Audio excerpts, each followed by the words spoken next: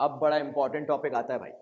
और वो important topic है जिसके लिए सब इंतज़ार कर रहे थे। मैंने बहुत सारे कमेंट्स देखे जिसमें मुझे मिला कि, सर फाइनेंशियल मार्केट पूरा कंप्लीट होना चाहिए। जी भाई, मैं सुन रहा था आप सबकी बात। तो चलिए उस इंपॉर्टेंट टॉपिक को पढ़ना चालू करते हैं, जो कि है trading procedure in stock market मैं आशीष चौधरी कॉमर्स बाबा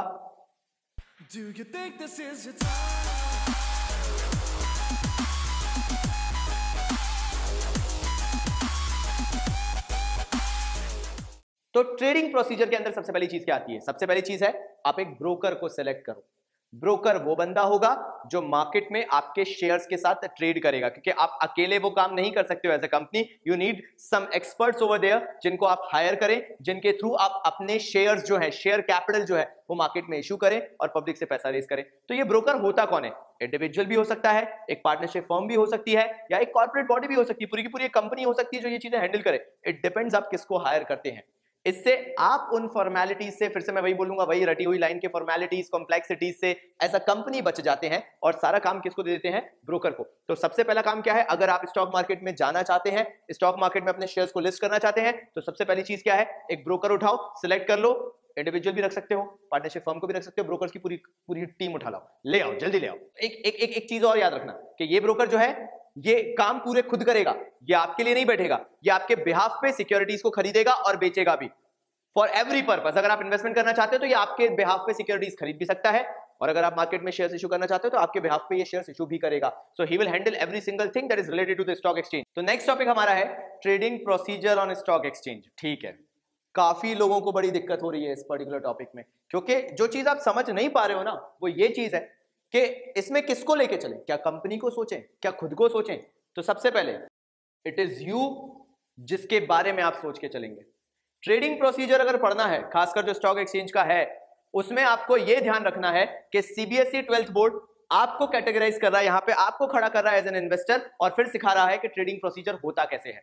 तो सबसे पहली चीज़ सिलेक्टिंग अ ब्रोकर सबसे पहला काम क्या करोगे आप? आपको एक ब्रोकर को चूज़ करना पड़ेगा, जिसके थ्रू आप कंपनी के शेयर्स या तो खरीदोगे या तो बेचोगे। अगर आपके पास ब्रोकर नहीं है तो आप कंपनी को कैसे डायरेक्ट कॉन्टेक्ट करोगे? मतलब रात को जाके दरवाज़ा थोड़ा ना खटखटाओगे? सर जी, सर वो लेने थे, हैं क्या?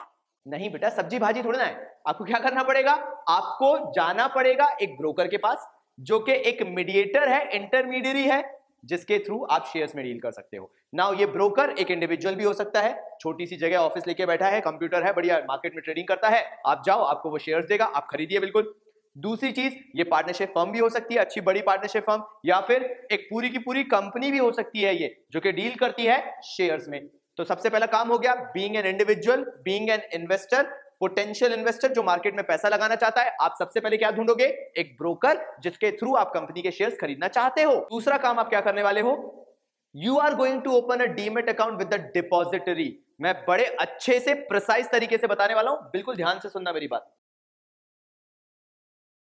ठीक है? समझाना यह है कि आप हो एक पोटेंशियल इन्वेस्टर आपको सबसे पहले जो सबसे ज़रूरी काम है वो ये है कि एक बैंक अकाउंट ओपन कराना पड़ेगा। मान लो, हमने एसबीआई के पास बैंक अकाउंट खुलवा लिया। कभी गए हो एसबीआई में? ऐसे ऐसे खुन्नस खाए हुए लोग बैठे रहते हैं ना, अगर उनसे बोल दो, सर, वो पैसे जमा करने थे। काय के पैसे जमा करे। सर, वो मेरी सेविंग थी, जितना गर्म क्यों नहीं नहीं अभी नहीं हो पाएगा। अभी लंच करना है। I don't know why they are so obsessed about lunch SBI peoples I don't know why but this is the experience which I had okay so let get back to the topic what I am saying is आप सबसे पहले अगर एक investor बनना चाहते हो तो आपके पास होना चाहिए एक बैंक अकाउंट जहाँ से आपका पैसा चैनलाइज होगा। पैसा डिपॉजिट होगा, पैसा आप निकाल भी सकते हो। बिना बैंक अकाउंट के बिकॉज़ मैं शेयर्स चैप्टर में भी बता चुका हूँ कि शेयर मार्केट पूरा बैंक के थ्रू डील करता है। कैश डीलिंग है ही नहीं, क्योंकि आप ढेला भर के कंपनी के पास नहीं पहुंचोगे। So you have to keep in mind that you should be having a bank account now जो कंपनीज़ की सिक्योरिटीज हैं, वो कंपनी बैंक को हैंड ओवर थोड़ा करेगी। कंपनी उसके लिए एक इलेक्ट्रॉनिक मार्केट ढूंढती है। वो इलेक्ट्रॉनिक मार्केट एक्चुअल में होता है डिपॉजिटरी मतलब मेरी बात ध्यान से सुनना डिपॉजिटरी वो जगह है, मान लो इसको भी एक बैंक जैसा, चलो ठीक है, मान लो डिपॉजिटरी वो जगह है जहाँ पे शेयर्स इलेक्ट्रॉनिकली स्टोर्ड होते हैं, रखे जाते हैं ऑनलाइन सिस्टम है पूरा.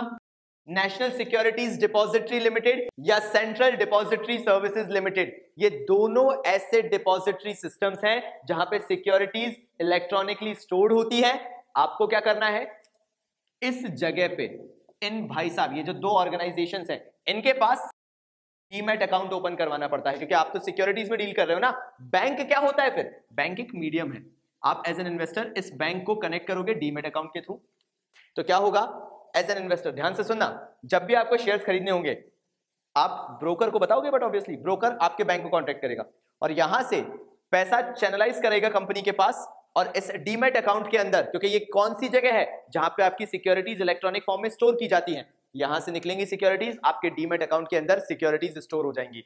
तो कभी भी ये मत सोचना कि जो आप शेयर्स होल्ड करते हो, वो आपके बैंक अकाउंट में होते हैं। उसका एक अलग ही बैंक होता है शेयर्स का, और वो होता है डिपॉजिटरी, जहाँ पे आपके शेयर्स इलेक्ट्रॉनिकली स्टोर होते हैं, जिस अकाउंट के अंदर, जैसे यहाँ पे पैसा स्टोर होता है ना, कौन से अकाउंट में? सेविंग अकाउंट में।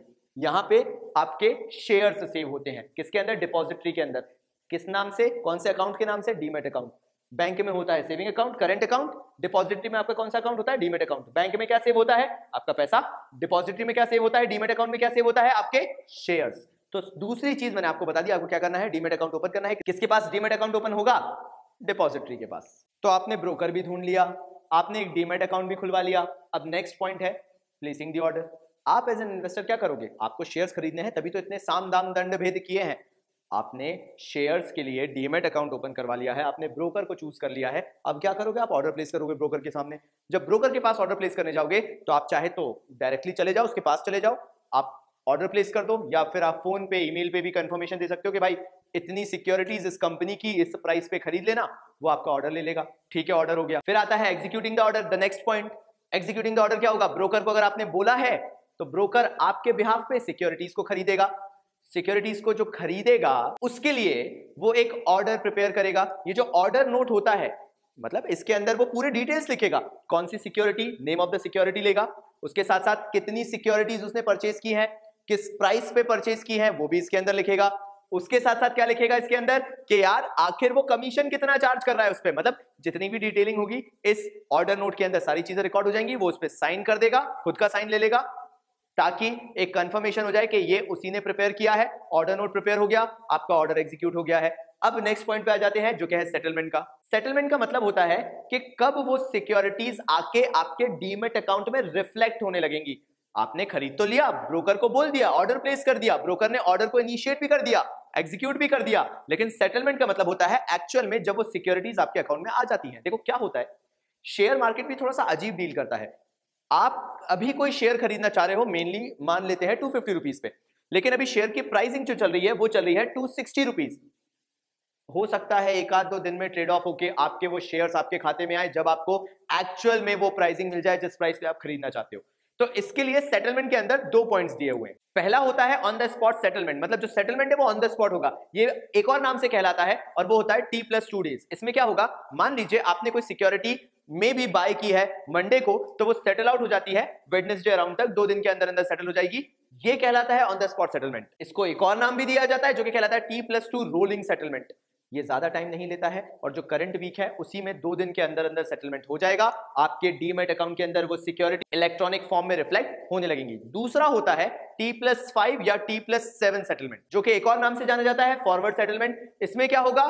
फॉर द वीक आपने क्या किया? कोई सिक्योरिटी को सेल करने के लिए लगाया या बाय करने के लिए लगाया?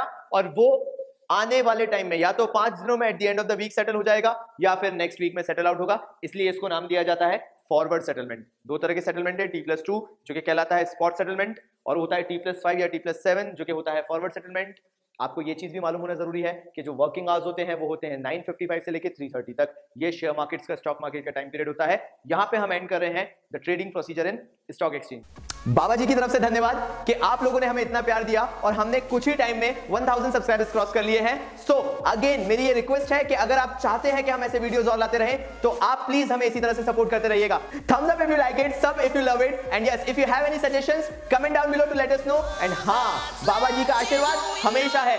धन्यवाद.